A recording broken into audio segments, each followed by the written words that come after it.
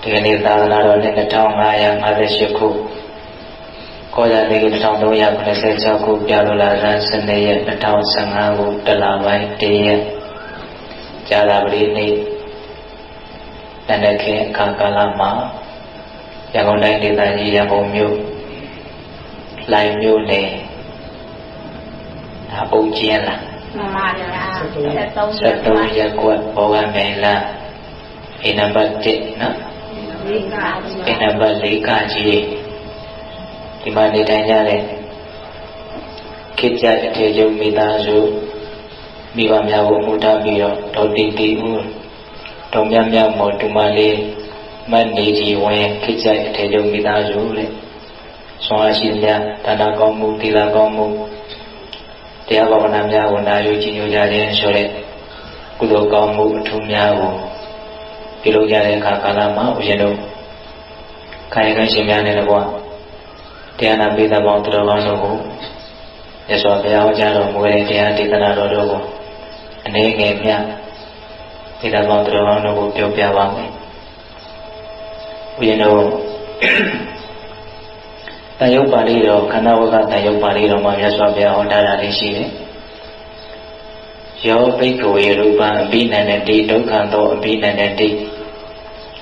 ယောဒုက္ခအဘိနန္ဒတိအပရိမုတ်တော်သောဒုက္ခသမာတိဝရမိတဲ့။ပုဂ္ဂိုလ်တူတယောက်ဟာယုတ်တရားရဲ့အပေါ်မှာဆွဲလန်းမဲ့မောနေမယ်ဆိုလို့ရှိရင်ဆင်းရဲဒုက္ခရဲ့အပေါ်မှာဆွဲလန်းမဲ့မောနေတာနဲ့အတူတူပဲတဲ့။ဆင်းရဲဒုက္ခရဲ့ပုံမှာဆွဲလန်းမဲ့မောနေမယ်ဆိုလို့ရှိရင်အဲ့ဒီပုဂ္ဂိုလ်ကအဲ့ဒီဆင်းရဲဒုက္ခကနေမလွတ်မြောက်နိုင်ဘူးတဲ့ရိုးရိုးလေးပြောတာနော် ရုပ်ကိုနှစ်သက်သောပုဂ္ဂိုလ်သည်ဆင်းရဲကိုနှစ်သက်နေတာနဲ့အတူတူပဲတဲ့ဆင်းရဲကိုနှစ်သက်နေပြီဆိုရင်အဲ့ဒီပုဂ္ဂိုလ်ကအဲ့ဒီဆင်းရဲကနေမလွတ်နိုင်ဘူးတဲ့ကိုကိုယ်တိုင်ကိုပဲဆင်းရဲကိုနှစ်သက်နေတဲ့အတွက်ကြောင့်ကိုပဲအဲ့ဒီဆင်းရဲကကိုကကိုနဲ့မလွတ်မြောက်နိုင်ဘူးအဲ့လိုပဲမြတ်စွာဘုရားခန္ဓာ၅ပါးကိုစုံအောင်ဟောပါတယ်ခံစားချက်ဝေဒနာယောဘိကဝေဝေဒနာပြီးနိုင်တဲ့တိ ခံစားချက်ဝေဒနာတွေကိုနှစ်သက်နေတဲ့ပုဂ္ဂိုလ်ဟာဆင်းရဲဒုက္ခကိုနှစ်သက်နေတာနဲ့အတူတူပဲဆင်းရဲဒုက္ခကိုနှစ်သက်နေပြီဆိုရင်အဲ့ဒီပုဂ္ဂိုလ်ဆင်းရဲဒုက္ခကမလွန်မြောက်နိုင်ဘူးအဲ့လိုပဲဦးဇင်းတို့မတမ်းမှုတင်ညာဆိုတဲ့အစုအဝေးကြီးလည်းရှိပါတယ်ခန္ဓာဆိုတာအစုအဝေးလို့အဓိပ္ပာယ်ရတယ်ယုတ်ကလတ်ဒီစုဝေးတာပေါင်းစုထားတာကိုကြတော့ဒါယူပဲခန္ဓာလို့ပြောတာခံစားချက်အမျိုးမျိုးအဆိုးကောင်း ဒါတွေကိုစုစည်းထားတာကိုကြားတော့အဆူဝေးကိုကြားတော့ဝေဒနာခန္ဓာမှတ်သားမှုအောက်မေ့မှုအကိုရမှတ်ဉာဏ်ထဲမှာအများကြီးသိသိပြီးတော့ဒီလိုပဲဘယ်ဝါပဲဘာပဲညာပဲအစရှိသဖြင့်မှတ်သားထားတာတင်ကြခန္ဓာအဆူဝေးကြီးကလည်းလုံးဝကြီးကျယ်ပါတယ်အဲ့လိုပဲဦးဇင်းတို့ပြုလုပ်မှုစိတ်ဆုံမှုစေတနာကောင်းဆောင်တဲ့စိတ္တိတရားတွေရှိတယ်အဲ့ဒါကိုကြတော့သင်္ခါရခန္ဓာပြုလုပ်စေဆောင်မှုအစုအဝေးလေးပေါ့ နောက်ဦးဇင်းတို့တိမှုဝိညာဉ်နဲ့ခန္ဓာဆိုတာလည်းရှိသေးတယ်မြင်တိသိကြားတိသိနံတိသိစံတိသိတွေးထိတိသိတွေးကြံတိသိအစာရှိတဲ့ဖြင့်နောက်ဝိညာဉ်တိသိတို့ရဲ့အစုအဝေးအဲ့တော့ပိဿကောသူတော်တို့ခန္ဓာဆိုတာဘာလို့လို့မေးရင်အစုအဝေးလို့အဓိပ္ပာယ်ရတယ်လို့အလုံးနားလည်ခံကြပြီလားရုပ်တည်းရဲ့အစုအဝေးခံစားမှုတွေရဲ့အစုအဝေးမှတ်သားမှုစိတ်ဆော်မှုတိမှုတို့ရဲ့အစုအဝေးဆိုပြီးတော့ ဘဝခန္ဓာအစုဝေးခြင်း၅ခုနဲ့ပေါင်းဆက်ပြီးတော့တည်ဆောက်တာအဲ့ဒါမြတ်စွာဘုရားကအဲ့ဒီခန္ဓာ၅ပါးကိုမူတည်ပြီးတော့ဟောတာယူဘခန္ဓာကိုနှစ်သက်နေတဲ့ပုဂ္ဂိုလ်ဟာဆင်းရဲဒုက္ခကိုနှစ်သက်နေတာပဲဆင်းရဲဒုက္ခကိုနှစ်သက်နေတဲ့ပုဂ္ဂိုလ်ဟာသူနှစ်သက်နေတဲ့ဆင်းရဲဒုက္ခကနေပြီးတော့သူဟာမလွတ်မြောက်နိုင်ဘူးအဲ့လိုပဲခံစားမှုဝေဒနာကိုနှစ်သက်နေတဲ့ပုဂ္ဂိုလ်ဟာဆင်းရဲဒုက္ခကိုနှစ်သက်နေတာမှတ်သားမှုတင်ညာပြုလို့စစ်စောမှုသင်္ခါရတိမှုဝိညာဉ် အဲ့ဒီခန္ဓာ၅ပါးရဲ့ပုံမှာနှစ်သက်နေတယ်ဆိုရင်အဲ့ဒီပုဂ္ဂိုလ်ဟာဆင်းရဲဒုက္ခကိုနှစ်သက်နေတာဆင်းရဲဒုက္ခကိုနှစ်သက်နေတဲ့ညလည်းပဲဆင်းရဲဒုက္ခကဘယ်သူမှမလွတ်နိုင်ဘူးဟုတ်ရဲ့လားအဲ့တော့ဘိဓကောင်းတော်တို့ဒီတရားဒေသနာလေးကလွန်တရားမှတူတော်မိမလို့အတိတ်ကတော့အလုံးမကျေပြန့်တယ်လို့ထင်တယ်။ဘာကြောင့်တူတူကိုကိုဆင်းရဲဒုက္ခတွေဖြစ်နေကြတာလို့ဆင်းရဲဒုက္ခကနေမလွတ်မြောက်ကြတာလို့လို့မေးရင်အဲ့ဒီဆင်းရဲဒုက္ခတွေကိုပဲနှစ်သက်နေလို့လို့ဖြေရမှာ။ ဆင်းရဲဒုက္ခကဘာတွေလုံးလို့မေးတော့အဲ့ဒီခန္ဓာ၅ပါးပဲတော့ဆင်းရဲဒုက္ခကလွတ်မြောက်ခြင်းတယ်ဆိုရင်ဘယ်လိုလုပ်ရမှာတော့ဆိုတော့ဆင်းရဲဒုက္ခကိုမနစ်သက်နဲ့ပေါ့ဆင်းရဲဒုက္ခကဘာလို့ဆိုတော့ခန္ဓာ၅ပါးခန္ဓာ၅ပါးကိုမနစ်သက်နဲ့ပေါ့ဒါပေမဲ့ခန္ဓာ၅ပါးကိုမနစ်သက်နဲ့လို့ပြောတာမြတ်တယ်လည်းပဲခန္ဓာ၅ပါးဟာမနစ်သက်ထိုက်တဲ့တရားလို့အပေါ်ရသိနေုံမြတ်တယ်လည်းပဲဒီခန္ဓာ၅ပါးရဲ့ပုံမှာနှစ်သက်မှုတွေကပျောက်သွားမှာတော့မဟုတ်လားအဲ့ တော့ခန္ဓာ၅ပါးကိုမနှစ်သက်ခြင်းမူဆွဲလန်းမှုမဖြစ်ခြင်းမူတနည်းအားဖြင့်နှစ်သက်မှုကိုလျှော့ချခြင်းတယ်ဆိုလို့ရှိရင်ဘာလို့ရမလို့ဒီခန္ဓာ၅ပါးရဲ့သဘောတဘာဝအမှန်ကိုသိအောင်မြင်အောင်ကြည့်ရမယ်ပေါ့သူ့ကိုကကြည့်မယ်ဆိုလို့ရှိရင်သူဟာနှစ်သက်စရာကောင်းသလားနှစ်သက်စရာမကောင်းဘူးလားဆိုတဲ့အဖြေမှန်ကိုလည်းပဲမှန်မှန်ကန်ကန်ရနိုင်မယ်ပေါ့တကယ်တမ်းကတော့ခန္ဓာမှာနှစ်သက်စရာတော့မရှိဘူးလို့ဆိုတယ် သို့တော်တကားမတို့ဦးဇင်းတို့တွေကခန္ဓာမှာနှစ်သက်စရာရှိသလားမရှိဘူးလားဆိုတဲ့အချက်ကိုဝေဖန်တဲ့အပိုင်းစီစစ်တဲ့အပိုင်းစဉ်းစားဆင်ခြင်တဲ့အပိုင်းအလုံးမအားနေတယ်အဲ့တော့ကိုယ့်ကိုရမ်းတမ်းပြီးတော့ဒါကိုနှစ်သက်စရာလို့ထင်ပြီးတော့နှစ်သက်နေရတာနှစ်သက်စရာလို့ထင်တာကတော့အဝိဇ္ဇာတရားပေါ့နှစ်သက်စရာမဟုတ်တဲ့တရားကိုနှစ်သက်စရာလို့ထင်ခြင်းဒီပင်နဲ့ဒါမှားယွင်းမှုပေါ့နော်အဲ့ဒီမှားယွင်းမှုအဝိဇ္ဇာကိုအခြေခံတဲ့အတွက်ကြောင့်ဒါကိုနှစ်သက်စရာလို့ထင်ပြီးတဲ့နောက်မှာနှစ်သက်တယ်ဆိုတဲ့ တဏှာလောဘကလိုက်လာတယ်အဲ့ဒီနှစ်သက်မှုဖြစ်လာပြီဆိုရင်တော့နှစ်သက်မှုအကြီးအသေးအနည်းများပေါ်မှာမူတည်ပြီးတော့ဆင်းရဲဒုက္ခအကြီးအသေးအနည်းများကလည်းစပြီးတော့ဖြစ်တော့တာပဲဟုတ်လားဒါကြောင့်ပြိဿပေါင်းတော်လို့ဆင်းရဲချုပ်ကျင်တယ်ဆိုရင်ဘာလို့ရမလို့ဆွဲလန်းမှုနှစ်သက်မှုကိုချုပ်အောင်လုပ်ရမယ်ကဆင်းရဲချုပ်တဲ့အဆင့်ဆိုတာအလုံးမမြင်မှာပါလေကဆင်းရဲကိုရောလဲတော့အောင်လျှော့ချခြင်းလေဆိုတာလေးကစပြောကြည့်ခြင်းဆင်းရဲကိုလျှော့ချခြင်းလေဆိုရင်နှစ်သက်မှုကိုလျှော့ချနိုင်မှဖြစ်မယ် နော်အဲ့ဒီနှစ်သက်မှုကိုလျှော့ချခြင်းလေဆိုရင်ဒီခန္ဓာနှစ်သက်အပ်တဲ့ဒီခန္ဓာရဲ့ပုံမှာပဲအမှန်တိုင်းသိအောင်မြင်အောင်ကြိုးစားပြီးတော့ကြည်ကြရဒါကြောင့်မြတ်စွာဘုရားကခန္ဓာကိုကြည့်ဖို့ခန္ဓာကိုအမှန်တိုင်းနားလည်အောင်ကြိုးစားအထုတ်ဖို့အများကြီးဟောတာပေါ့နော်ဆိုရပါစို့ဦးဇင်းတို့ဓမ္မပဒပါဠိတော်မှာဂါထာလေးတစ်ပုဒ်ရှိတယ်ဧထပတ္တိမလောကစိတ်တရာဇရထုပမ ယထပါဠိဝိတိရံတိနတ္ထိသင်္ကောဝိဇာနတံတဲ့ဒီဘက်ကပါပြောတယ်အောင်ဆိုဧထလာကြကုန်လောတဲ့ဟောမြတ်စွာဘုရားကခေါ်လိုက်တာပြိမာဏကပြုလိုက်တာဧထလာကြကုန်လောရာဇရထုပမမင်းစည်းတဲ့ယထာတဇင်းလို့စိတ်တန်ဆန်းကြယ်တဲ့ဣမလောကံဤခန္ဓာကိုယ်လေးဟူသောလောကကိုပတ္တအမှန်တိုင်းသိအောင်မြင်အောင်ကြည့်ရကုန်တော့ ဧထပတ္တိမလောကစိတ်တရာဇရထုပမတော့ခန္ဓာကိုယ်ကိုလောကလို့ပြောတာပါဒီနေရာမှာလောကဆိုတာကတတလောကသင်္ခါရလောကဩဃတလောကလို့လောကသုံးမျိုးရှိတယ်ပြည်သူသိပါတယ်နော်လောကလို့ပြောလိုက်လို့ရှိရင်ဒီနေထိုင်စရာအာကဩဃတလောကကြီးကိုပဲလောကလို့မျက်စိနဲ့မြင်နေုံများနဲ့မကြည့်ကြဘူးပေါ့တကယ်တမ်းကတော့တတ္တဝါတဦးတယောက်တကောင်တည်ပင်နေတာလောကတစ်ခုစီပါပဲတော့သူတည်ပင်နေလောကတစ်ခုကိုတည်ပင်နေလောကတစ်ခု အဲ့တော့မြတ်စွာဘုရားကဒီလောကကြီးကိုမြင်အောင်ကြည့်ပါဆိုတာအထူးသဖြင့်ကဒီခန္ဓာကိုယ်ကြီးဟူသောလောကကိုမြင်အောင်ကြည့်ခိုင်းတာအဲ့ဒါဒီခန္ဓာကိုယ်ကိုဘယ်လိုပြောတာလဲစိတ်တရာဇရထုပ္ပမံ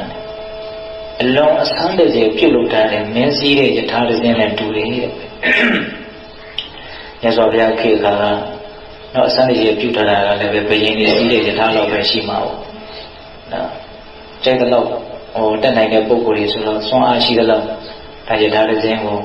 သာသန်ကျေတွေလှုပ်ထားမယ်ပေါ့ဒီခန္ဓာကိုယ်ကြီးကလည်းပဲအဲ့ဒီယထာတစ်စင်းလိုပဲအလုံးတရားမှစမ်းကြည့်တယ်ပေါ့မြင်းကဆွဲတော့ယထာကနောက်ကနေလိုက်သွားတော့အဲ့လိုပဲဒီခန္ဓာကိုယ်ကလည်းပဲဟောစိတ်တည်ဟူသောမြင်းကဆွဲတော့ဒီယုတ်ခန္ဓာတည်ဟူသောယထာကြီးကလိုက်ရတယ်ပေါ့ဒါကအကျဉ်းမြတ်ဥမာပေးတာဟုတ်လားဟောဒီကနေ့ခေတ်လူငယ်တွေပို့ပြီးတော့နားလည်အောင်ဥမာပေးရရင်တော့ဒီခန္ဓာကိုယ်ဆိုတာအလုံးကိုလက်ရမြောက်အောင် တော့အစွမ်းကိုပြုလုပ်ထားတဲ့ကားတစ်စင်းနဲ့တူတယ်လို့လည်းပြောမယ်ဆိုရင်ပြောလို့ရတယ်ဟုတ်လားကားထဲမှာအသက်ဝိညာဉ်လိပ်ပြအတ္တဆိုတာမပါလို့ဒီခန္ဓာကိုယ်မှာလည်းပဲအသက်ဝိညာဉ်လိပ်ပြအတ္တဆိုတာမရှိတကယ်တမ်းဟုတ်လားရုံနဲ့တန်တဲ့ချိုးညီညီတွဲဖက်ပြီးတော့အလုံးလုံးနေကြတာဟုတ်လားအဲမြတ်စွာဘုရားဒီမှာစိတ်တရာဇရတုပမှာအစတည်းလောက်ထားတဲ့မင်းစည်းရဲ့ယထာရင်းနဲ့တူတဲ့ဣမန္တောကဒီခန္ဓာကိုယ်ကြီးကိုဟောတထအမှန်တိုင်းမြင်အောင်ကြည်သမ်းပါတဲ့ အဲ့လိုကြည့်လို့တကယ်လို့များသိခဲ့မယ်ဆိုရင်တော့နတ္တိသင်္ဘောဝိဇာနတံဝိဇာနတံခန္ဓာရဲ့သဘောတဘာကိုအမှန်တိုင်းသိရမြင်ရတဲ့ပုဂ္ဂိုလ်တွေကသင်္ဘောကန့်ညီခြင်းဒီနတ္တိမရှိဘူးခန္ဓာရဲ့သဘောကိုအမှန်တိုင်းသိအောင်မြင်အောင်ကြိုးစားလို့တကယ်အမှန်တိုင်းသိပြီးဝိဇာနတံသိလာပြီးမြင်လာပြီးဆိုလို့ရှိရင်သင်္ဘောတဲ့ကန့်ညီခြင်းစောစောကပြောတဲ့နှစ်သက်ခြင်းတွေ့တာခြင်းမမောခြင်းဆွဲလန်းခြင်းဆိုတာသူမှမရှိဘူးလေ တကယ်လို့မသိဘူးဆိုရင်တော့သိအောင်မကြည့်လို့မသိဘူးဆိုရင်တော့ယထပါဠိဝိတိရန်တိပါဠိမသိရတဲ့မိုက်ကြတဲ့ပုဂ္ဂိုလ်တွေကတော့ယထအဲ့ဒီခန္ဓာလေးဟူသောဒုက္ခလောကထဲမှာဝိတိတန်တိနဲ့မွန်းသွားကြတယ်ဒါဒါလေးကတူတူလေးနဲ့အလုံးမဥစဉ်ကတော့သဘောကျတယ်နော်သိတဲ့ပုဂ္ဂိုလ်တွေကကန့်ညင်ခြင်းမရှိဘူးတဲ့မသိတဲ့ပုဂ္ဂိုလ်တွေကတော့ဒီထဲမှာနှင်းမွန်းသွားတယ်တဲ့ဒုက္ခထဲမှာနှင်းမွန်းသွားတ ကူကဒုက္ခနဲ့မကန့်ကြီးအောင်နေနိုင်တဲ့လူလားသို့မဟုတ်ဒုက္ခထဲမှာပဲပြူရခတ်ပြီးတော့နှင်းမွန်းနေတဲ့လူလားဆိုတာကတော့ကိုယ့်ရဲ့ခန္ဓာရဲ့ပုံမှာဘလောက်သိတယ်လဲမသိဘူးလဲဆိုတာပုံမှာမူတည်မှာပေါ့နော်ဒါကြောင့်ဒီခန္ဓာလေးကိုပြန်ပြောရင်နော်ဧထပတ္တိမလောကစိတ္တရာဇရတုပမယထဘာလိဝိတိရံတိနတ္တိသင်္ကောဝိဇာနတလာကြကုန်လောမင်းရှိတဲ့ယထာရစဉ်လိုအလွန်တရာမှစမ်းကြယ်တဲ့ ဒီခန္ဓာကိုယ်ဒီဟုသောလောကကြီးကိုအမှန်တိုင်းမြင်အောင်ကြည့်ကြကုန်လောအမှန်တိုင်းမြင်အောင်ကြည့်လို့ကြိုးစားလို့အားထုတ်လို့တကယ်သိပြီဆိုလို့ရှိရင်ကံကြီးခြင်းဆိုတာအဲ့ဒီပုဂ္ဂိုလ်မှာမရှိဘူးတကယ်လို့မသိဘူးဆိုရင်နိုင်မဲတဲ့ပုဂ္ဂိုလ်ဆိုတာမသိတဲ့ပုဂ္ဂိုလ်လို့ပြောတာပါမသိတဲ့ပုဂ္ဂိုလ်ဆိုတာဟောဒီနေရာမှာအလုံးတရားဆုလို့သွန်းသွန်းမိုင်မဲနေတဲ့အနေအထားမျိုးကိုရည်ရွယ်တာတော့ဟုတ်မှာမတူပါ ကိုယ်ခန္ဓာကိုယ်ရဲ့သဘောတဘာဝကိုမသိတဲ့အနေအထားကိုပဲဒါမိုင်မဲတယ်လို့ပြောတာနော်အဲ့ဒီမိုက်တဲ့ပုဂ္ဂိုလ်တွေကတော့ဒီဒုက္ခတွေမှာနေမွန်းသွားတယ်တဲ့ဒါကြောင့်ကိုယ်ခန္ဓာကိုယ်ရဲ့အကြောင်းကိုအမှန်တိုင်းမြင်အောင်သိအောင်ကြိုးစားကြရမယ်အစုဝေး၅ခုနဲ့တိဆောက်ထားတဲ့ဖွဲ့စည်းထားတဲ့အခန္ဓာ၅ပါးလို့ခေါ်တဲ့ဒီဘဝဒီခန္ဓာရဲ့အကြောင်းကိုအမှန်တိုင်းသိအောင်မြင်အောင်ကြိုးစားအထောက်ရမယ်အမှန်တိုင်းသိအောင်မြင်အောင်ကြိုးစားအထောက်လို့အမှန်တိုင်းသိလာပြီဆိုတာနဲ့အမျှ ဆွလန်းမှုကိုလည်းပဲလျှော့ချနိုင်မယ်ကြိုးစားအထောက်မှုမရှိလို့အမှန်တိုင်းမသိဘူးဆိုရင်တော့မသိတဲ့အတိုင်းတာနဲ့အညီပဲအဲ့ဒီပုဂ္ဂိုလ်ကဒီထဲမှာနေမွန်သွားမယ်ပေါ့ဟုတ်လားဒါကြောင့်ပိဿပေါင်းတော်တို့ကိုယ်ခန္ဓာကိုယ်ကြီးရဲ့သဘောတရားကိုအမှန်တိုင်းသိအောင်မြင်အောင်ကြိုးစားအထောက်ရမယ်အဲ့တော့ဒီနေရာမှာခန္ဓာ၅ပါးဆိုပြီးတော့စောစောကပြောရတဲ့ရုပ်အစုဝေးယူဘခန္ဓာကတစ်မျိုးနာမ်အစုဝေးနာမခန္ဓာကြတော့၄မျိုးပြောတာနော် ဝေဒနာခန္ဓာသင်္ကြန်ခန္ဓာသင်္ခါရခန္ဓာဝိညာဉ်နဲ့ခန္ဓာအဲ့တော့ဦးဇင်းတို့ကိုလုံးလုံးစေအလူငယ်တွေလည်းများနေတော့အဲ့ဒီနာမခန္ဓာအကြောင်းတွေကိုမပြောတော့နာမခန္ဓာအကြောင်းပြောရတာအလွန်တရာမှနုညံ့နဲ့ပိတ်မွေ့တယ်ဟုတ်လားဝေဒနာအကြောင်းသင်ညာအကြောင်းသင်္ခါရအကြောင်းဝိညာဉ်အကြောင်းပြောရတာနုညံ့ပါတယ်ပိတ်မွေ့ပါတယ်ဟုတ်လားအဲ့တော့ပဂတိမျက်စိနဲ့ကိုမြင်လို့ရနေတဲ့ဒီယူဘခန္ဓာအကြောင်းကိုနည်းနည်းလောက်စဉ်းစားကြည့်သေးခြင်း တရားဆိုတာစိတ်ဝင်စားမယ်ဆိုလို့ရှိရင်အရင်ကြီးခက်တယ်လို့မဆိုနိုင်နော်ခက်နေတာကအဲ့ဒီစိတ်ဝင်စားဖို့ကိုခက်နေတာဟုတ်လားစိတ်ဝင်စားလို့သိအောင်လုပ်ချင်တယ်ဆိုလို့ရှိရင်တော့မြတ်စွာဘုရားပေးထားတဲ့ဒီလမ်းများနဲ့ဒီကြိုးစားအထောက်မယ်ဆိုရင်ဒါလွယ်လွယ်ကူကူနဲ့သူ့လမ်းစဉ်လေးအတိုင်းဒါသွားလိုက်ရုံပါပဲဟုတ်လားအဲ့တော့ဦးဇင်းတို့ခန္ဓာကိုမြင်အောင်သိအောင်ကြည့်ရမယ်ဆိုတဲ့နေရာမှာခန္ဓာ၅ပါးရှိတယ်အဲ့ဒီခန္ဓာ၅ပါးတွေကနမခန္ဓာ၄ပါးကိုအခုမပြောတော့ဘူးဟုတ်လားဘာပြောလို့ဆိုယူဘက်ခန္ဓာအကြောင်းပြောကြည့်အောင် နော်ယူဘက်ခန္ဓာဘလို့သဘောတော်ပါရှိတော့ကိုယ်စပယ်ဝေးကစံပြောခြေပေါ်တိုင်အောင်ဒါရုပ်အစုအဝေးကြီးနော်ခေပညာရပြောမှဆိုရင်ဒါဆဲတွေရဲ့အစုအဝေးကြီးဆဲပေါင်းကလေးသိန်းကျော်လောက်နဲ့စုစည်းထားတယ်လို့မှတ်သားဖို့ပါတယ်ဟုတ်လားအေးမြတ်စွာဘုရားကတော့ဒါယုတ်ကလတ်လေးတွေအကုန်လုံးပေါင်းစုထားတာဆိုပြီးတော့ဒီယုတ်ကခန္ဓာကိုအမျိုးမျိုးမြတ်စွာဘုရားကိုကျမ်းဝေဖန်သိဖြာပြီးတော့ဟောတယ်32ပုံပုံပြီးတော့ဟောထားတယ်32ခုထာကအလုံးများရကြရလားမသိ ကိုခန္ဓာရဲ့အကြောင်းကိုဘယ်လောက်သိတော့လူတွေကလေတော်တော်အံ့ဩစရာကောင်းတဲ့တူတူကိုကိုပါပဲဒီနေရာတွေတော့အလုံးသိကျင်တယ်သိကျင်တယ်သိကျင်တယ်ကိုအကြောင်းကိုတော့ဘာမှသိပြီးတော့သိအောင်ကြိုးစားထားတာမရှိဟုတ်လားဆိုရပါစို့ခေါင်းထဲမှာဘာတွေရှိတော့အုံနောက်တွေရှိမယ်အဲ့ဒီအုံနောက်ဘလို့အလုံးလုံးတယ်လို့မင်းသိမသိတော့ဟုတ်လားအလဲပင်ထဲမှာဘာတွေရှိတော့ရင်ဘတ်ထဲမှာဘာတွေရှိတော့ဘိုင်းထဲမှာဘာတွေရှိတော့တိတိကျကျသိအောင်မြင်အောင်ပြောဖို့ကျတော့သိမလွယ်တော့ တခုချင်းစီကဘာအလုံးလုံးတော့ဘလို့သဘောတော်ရှိတော့လို့ပြောရင်တော့အဲ့ဒါကဆရာဝန်ဒီအလုပ်တို့အလုပ်မဟုတ်ဘူးလို့တောင်ပြောကောင်းပြောမယ်ပေါ့ဟုတ်တယ်မဟုတ်လားအဲ့ဒါမြတ်စွာဘုရားကအစွဲနေသွားဖို့အတွက်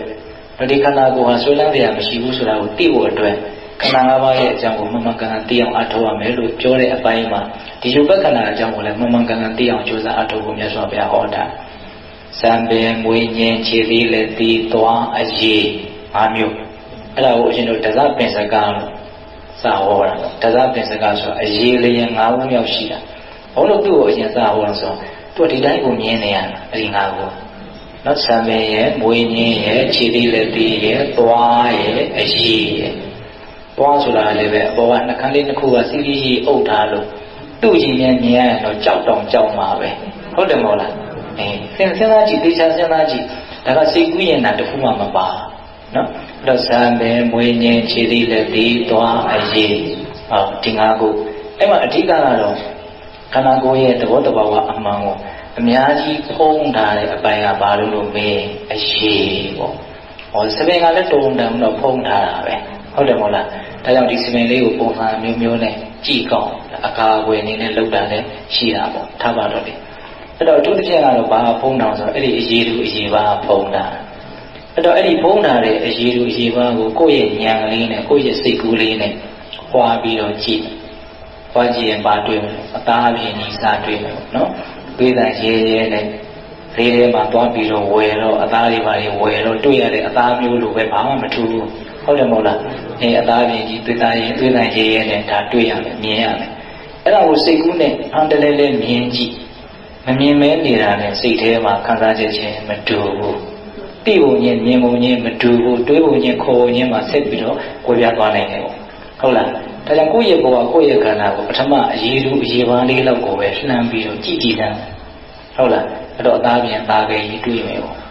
နော်တချို့နေရာတွေဆိုရင်အသားပါတဲ့နေရာဆိုလက်ခောက်လိုမျိုးနေရာဆိုအယိုးဟာတန်းပြီးတော့တွေ့မယ်ပေါ့ဟုတ်လားအေးအဲ့ဒီမှာအဲ့ဒီအသားထဲမှာပဲဘာရှိလို့ဆိုအကျော်တွေရှိမယ်ပေါ့အဲ့ဒီအကျော်တွေကတော့ တကူလုံးကိုကွန်ရက်တစ်ခုလိုအုပ်ပြီးတော့ရှုပ်ွားပြီးတော့တခါတည်းကဟုတ်လားသွေးတွေကိုတည်ယူပို့ဆောင်ရေးလုပ်နေတဲ့သွေးကြောတွေရှိမယ်အာယုံကြောတွေရှိမယ်ပေါ့အဲ့ဒီအကျော်တွေကိုလည်းတကယ်လို့ဆက်ပြီးတော့ဟိုတိုင်းတာလို့ရမယ်ဆိုလို့ရှိရင်မိုင်မောင်း6000လောက်တောင်ရှိမယ်လို့ဆိုရင်နော်ခန္ဓာကိုယ်လူတယောက်မှရှိတဲ့သွေးကြောတွေကိုဆက်လိုက်မှဆိုရင်မိုင်မောင်း6000လောက်ရှိဘလောက်ရှုပ်ထွေးပွေလီပြီးတော့တိဆောက်ထားလို့ဘလောက်စမ်းကြဲတဲ့အရာမှာဒီခန္ဓာကိုယ်ကြီးတော့မစမ်းကြဲဘူးလို့ဆိုတယ် ဟုတ်လားတော့ကိုကအကုန်လုံးကိုမသိနိုင်အောင်တောင်မှကိုသိနိုင်တဲ့လောက်ကလေးကိုသိအောင်လုပ်မယ်ဆိုရင်တောင်မှအများကြီးအသိဉာဏ်ပညာရနိုင်တယ်။ဒါပေမဲ့ပေါင်းတော်ကောင်းတို့ဘာမှခက်ခဲတဲ့အပိုင်းမဟုတ်တော့ဝေဒနာတွေတင်ညာတွေသင်္ခါရတွေဟာအဲ့ဒီသဘောလေးကဘာလဲဘယ်လိုလေးလဲသိဖို့ပါဆိုတာသိလွယ်တဲ့ကိစ္စမဟုတ်မဖြစ်နိုင်ဘူးလို့ဆိုလိုတာမဟုတ်ပါဘူးအဲ့ဒါကခက်ခဲတယ်ကိုဦးချင်းပြောတာဘာမှမသိနိုင်ကြကြောင်း မရှိဘူးအသားလည်းကိုမြင်ဘူးနဲ့တခါလေကိုလက်အသားရှာသွားဓာတ်ရှာသွားဆိုအသားမြင်ဘူးနေတာဟုတ်လားပြီးတော့ပါတော့အကျော်အကျိုးမျိုးအကျော်မျိုးစုံသွေးတွေကိုတည်ပို့ဆောင်ရေးလုပ်တကူလုံးပေါ့ဟုတ်လားအေးပြီးတော့ပါတွေ့အောင်တော့အဲ့ဒီအကျော်ပြီးတော့အယိုးအယိုးကတော့ခန္ဓာကိုယ်ရဲ့အမာခံပစ္စည်းပဲသူနဲ့အဓိကထားပြီးတော့ဒီဆောက်တာဒီအယိုးလာမရှိဘူးဆိုရင်တော့အဝိစုပ်ကြီးတစ်ခုလိုခွေးကြသွားမှာပေါ့ဒီခန္ဓာကိုယ်ကြီးကဟုတ်လားအဲ့တော့အယိုးကအလုံးတရားမှအဓိကကြတယ်အစိပိုင်းပေါ့ သူကသွားရေးလာရေးတောင့်တင်းရေးကန်လို့ရရေးလှုပ်ရှားရေးအဲ့ဒါတွေကိုလည်းလုပ်တယ်ကာကွယ်ရေးတွေလည်းသူကလုပ်တာတယ်သူရအောင်ဆိုအလုံးမအရေးပါတဲ့အုံနောက်လိုဟာမျိုးဆိုရင်သူကခွက်တစ်ခုလိုမျိုးနဲ့တောင်သူကလုံလုံခြုံခြုံအုပ်တာသူ့ကိုတောင်းတန်ထိလို့မရထိရင်လည်းပဲဒီလူကဘဝပြတ်သွားမှာပဲလေဟုတ်လားဒါကြောင့်အယိုးရဲ့ကြည်လူတရားတွေအများကြီးရှိတယ်လို့ပြောရမှာဟုတ်လားပြီးတော့ဦးဇင်းတို့ဟိုရှင်ကောင်းပိုင်းမှာဟိုနန်းကြီးတွေအခွေလိုက်အခွေလိုက် ဘာလို့ထားတာလဲဆိုတော့အလွန်အရေးပါတဲ့နှလုံးတို့အဆုတ်တို့လို့နော်ဘာလို့ထားကာကွယ်ထားဟုတ်လားအလွန်မှအရေးပါတယ်အဲ့ဒီနှလုံးနဲ့အဆုတ်ကအဲ့တော့ပြီးတော့တော့နည်းနည်းပုံပေါ်လာတယ်ပေါ့ကိုရုပ်ပိုင်းခန္ဓာယူဘက်ခန္ဓာယူကိုကြည့်လိုက်တယ်ဘာတော့လို့မေးရင်အယိုးကိုအမာခံနေရာမှာတီထောင်ပြီးတော့အသားအသွေးနဲ့လိမ့်ကြံပြီးတော့အကျိုးတွေနဲ့ဖွက်ချက်ပြီးတော့တိဆောက်တာအိမ်ကြီးတစ်လုံးဆောက်တယ်လို့ဆောက်တာတော့ အိမ်မှာဆောက်တာအပြင်ဘက်ကတော့အလှအမျိုးမျိုးဆင်ထားမယ်ပေါ့စီအောင်မျိုးမျိုးတုတ်တာပေါ့ဒါတက်နိုင်တက်နိုင်တယ်လို့ပေါ့အိမ်ရဲ့အဓိကဟိုအနှစ်သာရဘာလို့လို့မေးရင်အတွင်းထဲမှာဟိုနေလို့ရတဲ့အာကာသလာဖြင့်အဲ့ဒါအိမ်ရဲ့အနှစ်သာရလို့ရှင်းထင်ပါတယ်ဟုတ်တယ်မဟုတ်လားအင်းဒီထဲမှာပဲနေရတာကိုပြင်ဘက်ကအကြည့်ကောင်းရမရှိတာတကယ်အသုံးသိတဲ့တာမှမဟုတ်တာဟုတ်လားအင်းအဲ့လိုပဲဦးဇင်းတို့အယိုးကိုအမှန်ကနေရာမှာထောင်းထားပြီးတော့အသားသွေးနဲ့လိမ့်ကြံပြီးတော့ တိဆောက်ထားတဲ့ဒီခန္ဓာအိမ်ထဲမှာလည်းပဲအထဲထဲမှာဗာလေးထည့်ထားတာရှင်တန်ရေးအတွက်အလုပ်လုပ်နေကြတဲ့ရုပ်အစုအဝေးများစွာထည့်ထားတယ်နော်အလုံးအရေးပါတဲ့အင်္ဂါအစိပ်ပိုင်းကတော့နှလုံးနဲ့အဆုပ်အဲ့လိုပြောကြသူကတော့စက်ပိုင်းဆိုင်ရာဟောကိရိယာများပေါ့ဟုတ်လားနှလုံးနဲ့အဆုပ်နှလုံးဆိုလို့ရှင်သူဘာလုပ်တော့နော်လက်သီးစုပ်လောက်ဒီဟိုရင်ကောင်းရဲ့ဘယ်ဘယ်ချမ်းမှာသူရှိနေတယ်သူဟာ1မိနစ်ကို နော်အချိန်ပေါင်း80ဝန်းကျင်လောက်ဒီပွားရင်သူလုပ်နေဒါတချို့လည်းပဲတည်ပြီးသားပါတချို့လည်းပဲထိုက်တလောက်ဒါဘုဒ္ဓတရှိအောင်ပြန်ပြောပြဘာလို့သူကအဲ့လိုရှုပ်ကြီးပွားကြီးလုပ်နေညှစ်နေရမှာကသူကညှစ်တာကသူလည်းရောက်လာတယ်သူတည်တယ်ကိုတဘောလုံးကိုတွေးကြောတွေကနေပြီးတော့ပြန့်ထွက်သွားအောင်နော်ဘုရင်တို့မော်တာကနေပြီးတော့ပတ်နေတခါလဲထုတ်လိုက်တယ်လို့ပေါ့ဟုတ်လား ခါရှိရေတွေကိုပိုက်ကနေပြီးတော့အကုန်လုံးဖြန့်ဝေပေးတယ်လို့ပြောတကိုယ်လုံးကိုရောက်အောင်ဟုတ်လားခန္ဓာကိုယ်တည်းဟူသောအိမ်ကြီးခန္ဓာကိုယ်တည်းဟူသောမြို့ကြီးမှာအကုန်လုံးဒီသွေးသက်ရအောင်သူကဖြန့်ဝေပေးတာပေါ့အဲ့သွေးရဘာလို့တုံးဆိုသွေးထဲမှာဘုရင်တို့အာရဒနဲ့အောက်ဆီဂျင်ဓာတ်ဆိုတာပါတယ်အဲ့ဒါခန္ဓာကိုယ်အနှံ့ပြားမှာရှိတဲ့ဒီဆဲလေးတွေကလပ်စီလေးတွေကအဲ့ဒီအာရဒနဲ့သွေးရေဓာတ်ကို ဟုတ်လားမရလို့ရှင်အောက်ဆီဂျင်ဓာတ်ကိုမရရင်သူကပုတ်သွားမယ်သေသွားမယ်ပြက်သွားမယ်ဟုတ်လားဒါမှမဟုတ်သူကအမြဲတမ်းညင်နေရတယ်သူ့မှာနားရင်မရှိဘူးအဲ့လိုပဲလို့စဖြစ်တယ်ဘောဆိုသူကအမြဲတမ်းရှုပ်နေပွားတယ်တကောကမောလို့ညမှာအိတ်ဆက်အနားယူကောင်းယူနေသူကတော့အမြဲတမ်းလှုပ်နေတယ်အဆုပ်ဆိုရင်လည်းအဲ့ဒီတိုင်းပဲနော်လေအသေးအဟောင်းလဲတယ်လို့အချင်းချင်းပြောကြပါစို့ဒီသွေးကိုတန့်သွားသွေးအဟောင်းအသစ်ကလည်းဒီအဆုပ်ကြောင့်မလို့အဟောင်းအသစ်ဖြစ်သွားတာပါပဲ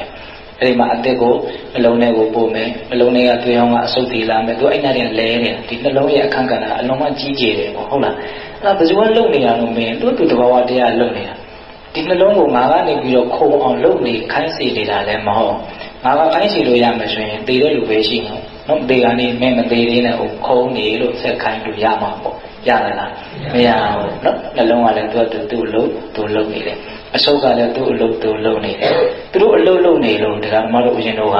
ရှင်းနေတယ်လို့ခေါ်တာဟုတ်လားဒီဒါအောက်ပိုင်းဟာတွေပါပြောမယ်ဆိုလို့ရှိရင်အများကြီးကျေပြတ်သွားမယ်ပေါ့အောက်မှာအဆိုင်ရှိမယ်အသေးကြီးရှိမယ်ဥသိရှိမယ်ဥဝါရှိမယ်အစာတိတိထေတာရှိမယ်အစာဟောင်းဖြစ်သွားတာတွေရှိအစာသေးဆိုရင်တော့ကျန်ကနေတွေက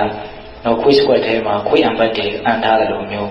နော်ထည့်ထားတဲ့အစာကလည်းအယောင်မျိုးစုံအဲ့ဒါကိုဦးတွေကထွက်တဲ့တီကြီးအိတ်ထဲကထွက်တဲ့ထိုးလာအဲ့ဒီ enzyme တွေ acid တွေအဲ့ဒီအရေးတွေနဲ့ရောပြီးတော့အမြုပ်တွေတစီစီနဲ့ဒါသူကရောပနော်ပြီးတော့အဲ့ဒီကနေဦးရင်လျှောက်ဖြတ်တန်းပြီးတော့ဖြစ်သွားအစာအောင်ဖြစ်သွားအဲ့တော့ခန္ဓာကိုယ်ထဲမှာဒါသိကူးရင်တာတခုမှမပါဘူးဒီတိုင်းဖြစ်နေတာဟုတ်တယ်မဟုတ်လားအဲ့ဒီတဘာဝကိုဒကာမတို့ဦးရင်းတွေမြင်အောင်ကြည့်လို့မရဘူးလားကျမ်းပါပေါ့ခုခေတ်ဦးဇင်းတို့ အထောက်အကူပြုပစ္စည်းတွေအများကြီးရှိတာရုပ်ပုံကားချက်တွေရှိတယ်နော်သုံးဘက်မြင်တွေရှိတယ်အမျိုးမျိုးပေါ်လေအကုန်လုံးပြတာဥဆိုရင်ဥသိန်းကဘလို့ပုံစံဥမာကဘလို့ပုံစံအစုံနှလုံးအသေးတောက်ကဘလို့ပုံစံအကုန်လုံးအသေးစိတ်သိအောင်ကြည့်လို့မရဘူးလားညာအဲ့ဒါမြတ်စွာဘုရားလည်းဟောတာပဲအဲ့တိုင်ဟောတာပဲဆိုရမှာဆိုအစုံဆိုရင်ဘလို့အယောင်ရှိတယ်ဘလို့ပုံစံရှိတယ်သိအောင်လုပ်ရမယ် သူ့အထက်မှာပါရှိတယ်သူ့အောက်မှာပါရှိတယ်သူ့ဘေးမှာပါရှိတယ်လို့သူတို့ရဲ့တည်နေရာကိုလည်းသိအောင်လုပ်ရမယ်လို့မြတ်စွာဘုရားဟောဟုတ်လားအဲ့ဒါဘာလို့လို့မေးတော့ကိုယ်ခန္ဓာရဲ့အကြောင်းကိုကိုကိုယ်တိုင်အမှန်တိုင်းသိအောင်ကြိုးစားခိုင်းတာအဲ့လိုသိအောင်ကြိုးစားတဲ့အခါကျတော့ဒါနှစ်သက်စရာဟုတ်သလားမဟုတ်ဘူးလားဆိုတာကိုကိုယ်ပိုင်ဉာဏ်နဲ့ကိုယ့်ကိုဆုံးဖြတ်လို့ရတယ်သူများကဒါနှစ်သက်စရာမဟုတ်ဘူးနှစ်သက်မနေနဲ့လို့ပြောစရာမလို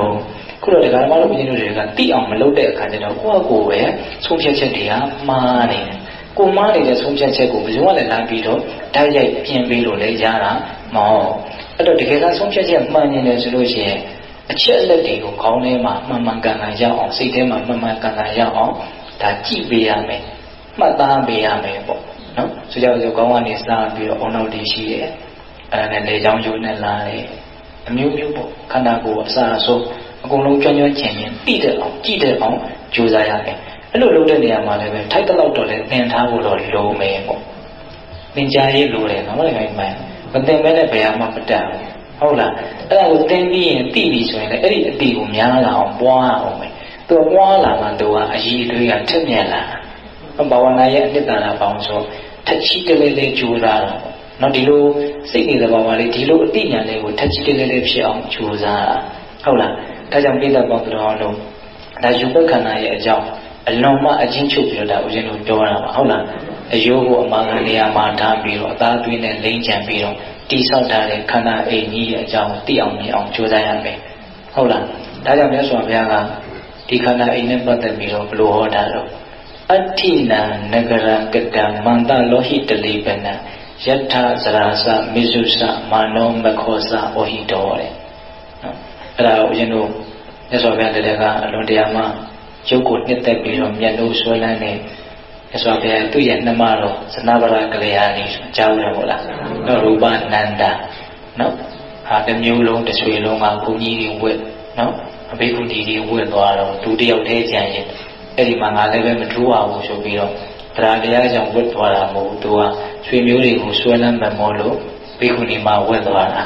ဟုတ်လားသူ့ရဲ့ဟောလင်းယောက်ျားဖြစ်တဲ့နန္ဒကလည်းဝတ်သွားပြီတူလေးရာဟုလာလည်းဝတ်သွားပြီ ရတော်လေးရာသူ့မေပြီတွေတော့ဟောတယ်ပြီဟောသူ့အဖေကလည်းပြိဋိဝါဆံသွားပြီသူ့ရဲ့မောင်တော်ကြီးကလည်းဖျားဖြစ်ပြီဆိုတော့အဲ့ဒီဆွေမျိုးတွေရှိတဲ့နေရာရောက်သွားရောဘုရားတော်မြတ်စွာဘုရားဒီသူမသွားအောင်ဘာလို့မသွားအောင်ဆိုတော့မြတ်စွာဘုရားကရုပ်ရဲ့အဖြစ်ကိုအလွန်ပြောတယ်အဲ့ဒါဟိုရောက်လို့ရှိရင်ရုပ်ရဲ့အဖြစ်တွေကိုပြောလို့ရှိရင်အဲ့ဒါကိုသူသိနားမထောင်ခြင်းသူကသူ့ကိုသူများကလည်းသူ့ကိုမြောက်ပေးမှာပေါ့အလွန်ချောတယ်လားတကယ်လည်းချောတယ်လားလို့ဆိုပါဟုတ်လားအဲ့ဒါမဲ့တနေ့တော့သူဘလို့မနေနိုင်ဘူး မြတ်စွာဘုရားဂုဏ်တွေကအလွန်မှ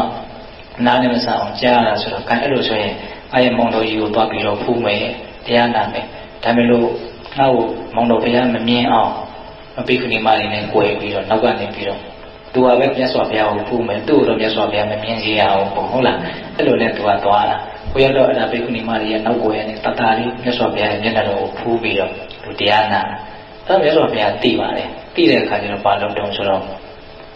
သူ့ထက်အစမတန်ချွန်ပေါ်လမ်းပါတဲ့နိမိတာယုတ်တရုပ်ဖန်ဆင်းတယ်အဲ့ဒီနိမိတာယုတ်ရဲ့ပုံမှာဆွလန်းသွားအောင်လို့ဖန်ဆင်းတာဘာလို့ဆွလန်းသွားသေးကြအောင်ဆိုဟိုဆူတစ်ချောင်းကိုနောက်ထပ်ဆူတစ်ချောင်းဆူပြီဆိုရင်အဲ့ဒီဆူကိုနောက်ထပ်ဆူတစ်ချောင်းနဲ့ကလော်ထုတ်တယ်လို့မျိုးလို့စာထဲမှာအဲ့လိုဥမာပေးစိတ်ဝင်စားကြရပါပဲသူကသူ့ရဲ့ရုပ်အပေါ်မှာအလွန်ဆွဲလန်းနေအလွန်အဟုတ်ထင်နေတာပေါ့ဟုတ်လားအဲ့ဒီအဟုတ်ထင်နေတဲ့အထင်ကိုသူ့တက်တာတဲ့ရုပ်ကိုဖန်ဆင်းပြလိုက်တော့ အဲ့ဒီဟာပေါ်မှာသူကထပ်ဆွဲတသူ့ပေါ်မှာဆွဲထားတဲ့ဟာတည်ငါရောက်သွားအဲ့ဆိုမြတ်အလွန်ကျွမ်းကျင်တယ်ပေါ့နော်အဲ့ဒါနဲ့အလုံးမချုံပေါ်လာပါတယ်ဘလို့မှအပြစ်ရှာလို့မရတဲ့နော်နိမိတာယုတ်တစ်ခုဗန်တီးတယ်အဲ့ဒါကိုဘုရားနဲ့အဲ့ဒီသနာပရကလျာဏီဒီနှစ်ယောက်ပဲမြင်ရတယ်အဲ့တော့သူကြည့်တဲ့အခါကျတော့သူ့စိတ်ထဲဘလို့ဖြစ်တော့ဆိုတော့ဩဟင်းသာတွေကြားထဲရောက်သွားတဲ့ကြီးကန်းလိုခံစားရတယ်တဲ့သူ့ကိုဟုတ်လား ဟောငါကမှလှလာပြီးထင်းနေတာပေါ့အဲ့ဒါနဲ့သူကအဲ့လိုတွေဖြစ်ပြီးတော့အလုံးမချစ်မြတ်လို့တဲ့အဲ့ဒီအယုကိုသူအယုလို့လည်းမထင်ပါဘူးတကယ်ဘုရားမင်းကလေးလေးမြတ်စွာဘုရားကိုလာပြီးတော့ရက်ခတ်ပေးနေတယ်မသိဘူးသူကထင်အဲ့တော့မြတ်စွာဘုရားအဲ့လိုကြည်နေတော့သူကြည်နေတော့မှပဲ16နှစ်သမီးအရွယ်ကနေပြီးတော့19နှစ်20အရွယ်ရောက်တဖြည်းဖြည်းလေးနော်ရောက်ရောက်ပြီးတော့အဲ့ဒီကနေပြီးတော့ကလေးတယောက်မွေးပြီးတဲ့အရွယ်မျိုးပေါ့နောက်ကလေးအသက်40 60 90တ ဖြည်းဖြည်းနဲ့မကြီးကိုကြီးဖြစ်သွားသူကြည်နေတော့မှပဲအဲ့လိုအဲ့လိုအရွယ်ကအလုံးကိုပဲရုပ်ပြစင်ပြဖြစ်ပြီးတော့အဲ့ဒီမှာသူ့အနာရောဂါနှိမ့်ဆက်ပြီးတော့နာရီပေါက်ပြီးဆိုလဲအော်ဟေ့ညီးညီဒါလည်းသူမြင်နေရတယ်ညီးကြီးကြီးကြီးနဲ့အဲ့ဒီကပြောင်းသွားလိုက်တယ်ပြောင်းသွားလိုက်တယ်သူ့စိတ်ထဲကလည်းပြောင်းတယ်သူ့စိတ်ထဲကဘယ်လိုပြောင်းလဲဆိုတော့နှစ်သက်ခြင်းသဘောတရားတစ်ဖြည်းဖြည်းလျော့လာအဲ့ဒီဟာပေါ့ဆိုတော့သူ့ပုံမှာနှစ်သက်တဲ့စိတ်ကို ဒုက္ခနာကိုယ်ပေါ်မှာနှစ်သက်တဲ့စိတ်ကိုဟိုခန္ဓာပေါ်မှာဟိုအယုတ်ပေါ်မှာပြောင်းတယ်အဲ့ဒီအယုတ်ကပြောင်းသွားလိုက်တယ်သူ့ရဲ့ဆွဲလန်းမှုကလည်းထပ်ပြီးတော့ပြောင်းတယ်ဟုတ်လားအဲ့ဒါနဲ့အဲ့ဒီအယုတ်ကတည်ရောတည်ပြီးတော့ရောင်လာတယ်ဖူးဖူးရောင်လာတယ်အပုပ်ရည်တွေကျလာတယ်အာအမျိုးမျိုးဒါကိုမြင်တဲ့အခါကျတော့သူ့စိတ်ထဲမှာဘယ်လောက်ထိဖြစ်သွားလို့ဆိုရင်ခွေးဒီကောင်ပုဂ္ဂိုလ်လည်းပဲဆွဲပေးခံရတယ်လို့မျိုးဖြစ်သွားတယ်တဲ့ဒါကအချိန်တိုလေးအတွင်းမှာမြတ်စွာဘုရားသူ့ကိုဖန်တီးပြတာ တကယ်တမ်းကလူတယောက်16နှစ်သမီးကနေပြီးတော့အသက်80 90တေးပြီးတော့ပုတ်တယ်ဖူးဖူးရောင်တယ်ဆိုတဲ့အနေထားနှစ်ပေါင်း80 80လောက်အချိန်ယူရမယ့်အနေထားနှစ်80လောက်အတွင်းမှာဖြစ်ပျက်မဲ့အသေးစိတ်အဖြစ်ပျက်ကိုမိနစ်ပိုင်းအတွင်းမှာမြန်မြန်ပြလိုက်တယ်ဒါလည်းတော်တော်အရေးပါတယ်လို့ပြောခြင်းတယ်ဒါဥပ္ပယကိုစဉ်းစားမိတာလေးကိုပြောတယ်နော်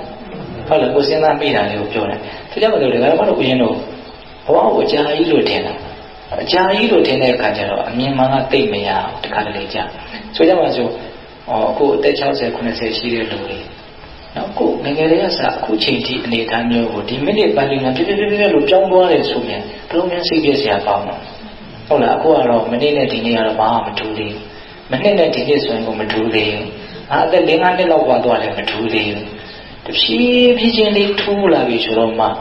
နည်းနည်းတော့ထူးသွားပြီလို့လက်မခံခြင်းခံခြင်း ခံရတာဟုတ်လားအဲတချို့ကျတော့လည်းပဲညှောက်ပေးကြတာလည်းပါမှာပေါ့တယောက်တယောက်အာအသက်ဘယ်လောက်ရှိမထင်ရဘူးနော်သဘောတွေကိုကြားတော်တော်သဘောကျတယ်အဲ့ဒီကိစ္စကလူတိုင်းသဘောကျတဲ့ကိစ္စ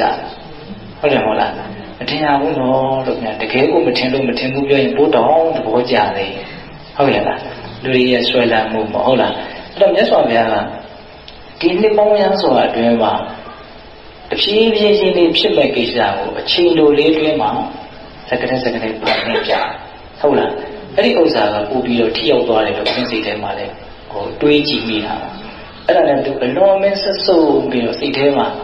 ဒီဘဝဘာမှအနှစ်သာရမရှိပါလားဆိုတဲ့အမြင်သူရအတုပါမီလည်းပါလာအဲ့ဒီအချိန်မှာမြတ်စွာဘုရားကဂါထာနှစ်ပုဒ်ခွဲဟောသေးတယ်အဲ့ဒီဂါထာကလည်းဒီလူဘက်ခန္ဓာအကြောင်းဟောတာဟောတဲ့အခါကျတော့သောတာပန်ဖြစ်ရော နာရင်နဲ့သောတာပန်ဖြစ်တယ်အဲ့ဒီသောတာပန်ဖြစ်ပြီးတော့မှသောတော်ကဂါထာလေးဟောတာအဋ္ဌိနံနဂရံကတံမန္တလောဟိတလိပနယထာစရသမေစုသမနောမေခောသဩဟိတောတဲ့အဲ့ဒီဂါထာလေးလည်းဟောတယ်ရောရဟနာဖြစ်သွားအဲ့ဒီဂါထာကဘယ်လိုများဆွမ်းတော့တော့အချိန်တိုလေးတွေမှာရဟနာဖြစ်သွားအောင်အဲ့ဒီဂါထာကဘယ်လိုအရာတွေကိုမြန်ပြောလိုက်လို့တော့သိတော့အဆန်းလေးကြီးတော့မဟုတ်ပါဘူးနော်။ဘာပြောတော့အဋ္ဌိနံနဂရံကတံမန္တလောဟိတလိပန အဋ္ဌိနံအယိုးတို့ကိုတဲ့မန္တလောဟိတလိပနအသားအသွေးတွေနဲ့လိမ့်ချံပြီးတော့ကတံပြုလုပ်တိဆောက်ထားတဲ့နဂရံခန္ဓာလေးကိုတော့အေနော်အယိုးကိုအမာခံနေရာမှာထားပြီးတော့အသားသွေးတွေနဲ့လိမ့်ချံပြီးတော့တိဆောက်ထားတာခုနားထောင်ရင်းနဲ့စဉ်းစားပြီးတော့နားထောင်ရင်ပိုအရာရှိနိုင်တယ်အခုထိုင်းနေတယ်ဆိုရင်ဒါအယိုးစုကြီးမြင်အောင်ကြည့်တယ်ဒါကြည့်တဲ့အလေးအချင်းရှိမှလည်းကြည့်နိုင်တာအခုမြင်ရင်လို့အခုမြင်လို့ရတာမဟုတ်တော့အယိုးကိုကိုယ်ကဘယ်လောက်မြင်ဘူးတော့ဥကောင်းယိုးကိုဘယ်လောက်မြင်ဘူးတော့ နံယိုးတွေဘယ်လိုမြင်ဘူးတော့မြင်ဘူးဖို့လိုပဲလို့ထင်အစ်စ်ကိုမမြင်ဘူးတော့အတူလေးမြင်ဝင်ဒီထဲမှာရှိတယ်ဆိုတာကိုမှန်းဆတယ်ဟိုကောင်းပါဟိုဦးဇင်းတို့ကလေးတုန်းကဘုန်းကြီးကျောင်းသားဘောကရွာမှာလိုက်သွားအဲ့ဒါအတူကတခုလိုက်သွားတော့အဲ့ဒီခေါင်းကိုမြုပ်မယ်ဆိုတော့တော့ကတော့မြည်ကြီးတွေတူမြုပ်တာပေါ့လေသူတို့အရင်နေရာကိုတွတ်တူရနေတဲ့ခါကျတော့အယိုးယိုးကြီးတစ်ခုတွေ့ရောအဲခေါင်းကြီးကပေါ်နဲ့ဝင်းဝင်းကလေးတွေလည်းအများကြီးဘုန်းကြီးကျောင်းသားတွေအများကြီးဆိုတော့ကြောက်အောင်မလည်းမသိဘူးလန့်အောင်လည်းမသိဘူးအဲ့ဒီခေါင်းကြီးကိုဖြုတ် ဖြုတ်ပြီးတော့အဲ့ဒီတင်းရုံးကိုစိုက်ထားအဲ့ဒီတင်းရုံးကြီးကိုအဲ့ဒီခေါင်းကြီးချိတ်ပြီးတော့အငယ်တော့မှတ်မိနေသေးတယ်နော်ဒါလည်းမြင်ဘူးရင်အလုံးမအကျိုးကြီးတယ်လို့ဦးဇင်းတင်တယ်ဟုတ်လားအေးအဲ့ဒါနဲ့ဟောအခုတို့ဘာပတ်ပါပြောနေတာအယိုးကိုတိဆောက်ပြီးတော့အသားသွေးနဲ့လိမ့်ကြံပြီးတော့တိဆောက်ထားတဲ့ဒီခန္ဓာအိမ်အဲ့ဒီခန္ဓာအိမ်ထဲမှာဘာရှိတော့လဲယထာစရာသမိစုသမနောမကောစာအောဟိတော်တဲ့ ဒီခန္ဓာအိမ်ထဲမှာစရာဆိုတဲ့ဥမင်းဆွေးမြေ့တဲ့သဘောလေးရှိတယ်မရဏဆိုတဲ့ပျက်စီးခြင်းတည်ဆုံးခြင်းသဘောတရားလေးရှိတယ်ဒါရင်မကဘူးတဲ့မာနောမခောစာအောဟိတော်တဲ့မာနောတဲ့အထင်လေးရှိတယ်မာနအာဘာသူအာဘာဆိုတဲ့အထင်လေးရှိတယ်မာနဆိုတဲ့အထင်လေးရှိမရှိဘူးလားရှိပါဘူးကိုယ့်ကိုယ်တော့အမျိုးမျိုးထင်နေရတာပဲဟုတ်လားမဟုတ်လား ပါဟုတ်လားထင်တော့ထင်နေကြတာပဲဟုတ်လားငါကယောက်ျားလေးငါကမိန်းကလေးငါကငယ်သေးတယ်ငါကပစ္စည်းပစ္စည်းရှိတယ်ငါကပစ္စည်းမရှိဘူးငါပညာတတ်တယ်ငါကဘလို့အရှင်လဲသူကဘလို့ရှင်အမျိုးမျိုးအထင်လေးရှုချက်ခတ်နေအောင်ထင်နေတာမရှိဘူးလားရှိပါဘူးအထင်လေးအထင်လေးမာနတရားဆိုအထင်လေးရှိနောက်မက္ခသူတော်ရဲ့ဂုံကြီးစုကိုအတိမမပြုနိုင်ဘူးကျေစုကမ်းတာလို့လည်းပြောတယ်ဒီနေရာအဖြစ် သူတော်ဘာတော်တာတည်တာတက်တာဟုတ်တာတွေကိုချီဖြစ်ဖြစ်အဲ့ဒါကိုသိကြတယ်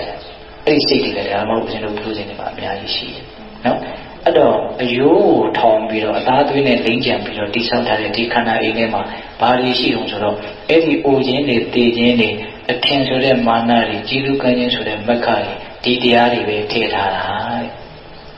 ကြည်ဘူးရမဟုတ်ဘူးလားအဲအဲ့ဒီကာထာနာပြီးတော့အဲ့ဒါယန္နာဖြစ်သွားတာ ဒါကြောင့်ပိဋကပေါင်းတော်ကတော့အနှစ်ချုပ်ကြည့်လို့ဆိုရင်ခန္ဓာအနှစ်သာရမရှိဘူးတန်ဖိုးမရှိဘူးဆိုတာအမှန်ပဲတိုးတော့အဲ့ဒါကိုကိုကသိအောင်မြင်အောင်မလုပ်တဲ့အခါကျတော့ကိုမှသိတယ်မြင်တဲ့သဘောမရှိဘူးနော်တကယ်တမ်းသိသွားတာတော့အရတ္တမညာအရတ္တကိုညာရသွားတော့ပြည်တော်သိသွားတယ်လို့ဆိုကြပါစို့ဟုတ်လားတိုးတော့အဲ့ဒီအနေထားဆိုတာအလုံးမမြင်မာပါတယ်ဟုတ်လားဟိုလည်းပဲကိုယ်အတိုင်းတာလေးနဲ့ကိုပုထုတဲ့သဘာဝနော်ကလျာဏပုထုဇဉ်လေးလောက်တော့ဖြစ်အောင်ကြိုးစားခဲ့တာဟုတ်လားပုဂ္ဂိုလ်တ attva ဆိုတာမရှိဘူး နော်ရုပ်တဏ္ဍတ္တိပေါင်းစုပြီးတော့အလုံးလုံးနေတာရုပ်တရားတွေကလည်းပဲဒီလိုဒီလိုတိဆောက်ထားတာအဲ့ဒီမှာနတ်တရားကဆွဲမိပြီးတော့ခံစားမှုတွေမသားမှုတွေစေဆုံမှုတွေတိကျနေတယ်အမျိုးမျိုးဒါအလုံးလုံးနေတာလို့ဟုတ်လားခန္ဓာရဲ့သဘာဝကိုအဲ့လိုမျိုးတိအောင်ကြိုးစားမယ်ဆိုရင်ခခန္ဓာရဲ့ပုံမှာသိရင်သိတဲ့လောက်ဆွဲလန်းမှုဆိုတဲ့နှစ်သက်မှုဟာ လျှော့သွားပြီလားလျှော့သွားနော်သောတော့ကအာထာလေးမမေ့နဲ့နော်ဧထာပတ္တိမလောကစိတ္တရာဇရထုမှာယထာပါရိဝိတိရန်ဒီနတိသင်္ဟောဝိဇာနတံလာကြကုန်တော့မင်းစည်းတဲ့ယထာရစင်းလို့အလွန်တရာမှစမ်းကျင်တဲ့ဒီခန္ဓာကိုယ်တည်းဟူသောလောကကိုမြင်အောင်ကြည့်ကြကုန်တော့မြင်အောင်ကြည့်လို့သိပြီဆိုရင်ကန့်ကြည့်ခြင်းဆိုတာအဲ့ဒီလိုမှမရှိဘူးမြင်အောင်လည်းမကြည့်ဘူးဘာမှလည်းမသိဘူးဆိုရင်တော့အဲ့ဒီဒုက္ခတွေမြစ်သွားလိမ့်မယ်တဲ့ ဟုတ်လားဒီကထာလေးလည်းကောင်းပါလေဟုတ်လားအေးဒါကြောင့်ပိဋကပေါင်းတော့ကိုယ်ခန္ဓာရဲ့သဘောတရားကိုမြင်အောင်သိအောင်ကြည်ကြရမယ်ဟုတ်လားအဲ့တော့ခန္ဓာက၅ပါးရှိတယ်ဒီကနေ့ဘယ်ခန္ဓာကိုအဓိကပြောလိုက်တော့ယူပက်ခန္ဓာနော်ရုပ်အစုဝေပဂတိမျက်စိနဲ့တော့မြင်ရတယ်နော်ဒါကြောင့်ကိုယ်မှာတခုထိကန်တို့သွေးတွေထွက်လာပြီဆိုရင်ဩတကူလုံးမှာသွေးတွေရှိနေတာပဲသိရတယ်ပေါ့အကျဉ်းကြီးချင်းနဲ့စွန့်တယ်ဆိုတဲ့အခါမျိုးမှာလည်းအများကြီးသိပေနိုင်ရင်ကောင်းတယ်ပေါ့ဟုတ်လားဒါပါလို့ဆိုတော့ ကိုကိုယ်တိုင်မျက်ကွယ်ပြုပြီးတော့အမှန်တရားတွေကိုမသိအောင်နေနေတဲ့အနေအထားမျိုးကနေအမှန်တရားကိုသိအောင်နေလိုက်တဲ့အနေအထားမျိုးလွတ်တရားမြင့်မြတ်တယ်လို့ဆိုနိုင်မို့လားဆိုနိုင်ပါဆိုနိုင်တယ်ဒါကြောင့်ပေတမောတော်တော်ဒါလူငယ်တွေနဲ့အလုံးမကိုက်ညီတယ်လို့ဆရာတို့ထင်တာနော်ဘာမှနားမလဲဆရာမရှိဘူးနော်ခန္ဓာကိုယ်တိဆောက်ထားပုံကိုထိုက်တော့တော့လေ့လာမှုတော့ရှိရမှာပေါ့ဟုတ်လားအေးဒါကြောင့်ဦးဇင်းတို့ဒီကနေ့တရားနေတာလေးတော့မှပါပြောခဲ့တော့ ရုပ်တရားကိုနှစ်သက်ခြင်းသည်ဆင်းရဲဒုက္ခကိုနှစ်သက်တာပါဆင်းရဲဒုက္ခကိုနှစ်သက်နေခြင်းသည်ဆင်းရဲဒုက္ခကမလွတ်မြောက်အောင်လုပ်နေရရောက်တဲ့အဲဒီပုဂ္ဂိုလ်မလွတ်မြောက်နိုင်ဟုတ်လားဒါကြောင့်ဆင်းရဲကလွတ်ခြင်းဆင်းရဲကိုမနှစ်သက်မှဖြစ်မယ်ဆင်းရဲကိုမနှစ်သက်ဖို့ဆိုရင်လည်းဒီခန္ဓာငါးပါးကိုမနှစ်သက်မှဆင်းရဲကိုမနှစ်သက်ရရောက်တယ်ဟောဆိုနှစ်ဆင်းရဲတဲ့ခန္ဓာငါးပါးနဲ့နာမည်သာကွဲတာအတူတူပဲဟုတ်တယ်မဟုတ်လားအေးဒါကြောင့်ပေးတဲ့ဘောတော်တော်ဒီကနေ့နည်းနည်းလေးဦးဇင်းတို့စဉ်းစားကြရလေးပြောလိုက်ပါတယ်ဟုတ်လား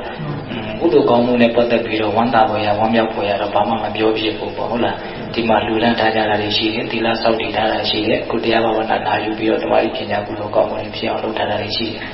တတဝါဆိုတာကိုပြုထားတဲ့ကံနဲ့တန်တဲ့အကျိုးကိုရကြတာပါဟုတ်လားကိုယ်စိတ်စေတနာနဲ့တန်တဲ့အကျိုးကိုလူတိုင်းရကြတာပါဒါလေးဒီပင်လေကုသိုလ်ကောင်းမှုရဲ့အကျိုးကျေးဇူးကိုဘုန်းကြီးကအတူတူပြောသွားတယ်လို့နားလည်စေချင်ပါတယ်ဟုတ်လားအဲအဲ့ဒါကတော့ ဟိုမကြာခဏနာယူနေရတာဆိုတော့အလုံးလည်းနားလည်ကြပါတယ်သိကြပါတယ်ဟုတ်လားအခုပြောလိုက်တဲ့အပိုင်းလေးကတော့ဒါလူငယ်တွေအတွက်နည်းနည်းလေးသိတဲ့သိလိုက်တယ်လို့ထင်လို့ပေါ့ဒီထဲမှာတချို့လူလေးနေတဲ့တရားတွေကိုစိတ်ဝင်စားတဲ့လူမပါဘူးလို့မပြောနိုင်ဘူးနော်အဲဒါကြောင့်အလုံးတော့တခါကြီးဒီမိုင်းများပါလူငယ်တွေရောအလုံးမိမိတို့ရဲ့ခန္ဓာရဲ့တဘာဝအမှန်ကိုသိအောင်မြင်အောင်ကြိုးစားအထောက်ရမယ်ခန္ဓာရဲ့တဘာဝအမှန်ဒီအနိစ္စဒုက္ခအနတ္တမြလာဖြစ်တယ်ဟုတ်လား အဲ့ဒါကိုသိဖို့မြင်ဖို့အတွက်သတိပဋ္ဌာန်ဒေသနာမှာလာတဲ့ညီများနဲ့ကြိုးစားအထောက်ရမယ်ပေါ့အခုပြောလိုက်တာလည်းဒါသတိပဋ္ဌာန်ဒေသနာမှာလာတဲ့ညီလန်းတွေကတသိတတိသားပါပဲနော်ကုဋ္ဌကကမ္မထံလို့ပြောလို့မရဘူးလားမရဘူးနော်ဒါကြောင့်ပေးသပေါင်းပြောအောင်လို့ဒီဒီကနေ့ဒါနသီလသမာဓိပညာကုသိုလ်ကောင်းမှုအရှုစုကိုပြုလုပ်အားထုတ်ပြီးတော့အဲဒီကုသိုလ်ကောင်းမှုအရှုစုတို့ရဲ့ဆွမ်းသက်တွေကြောင့်မညာပုညမျက်နှိပ်ပါကိုလင်းမြန်တုတ်ချောင်းမျက်မှောက်ပြုပြရစေကုန်တော်ဟု ပတ္တနာအောင်စုပြုကြခုံးရတည်း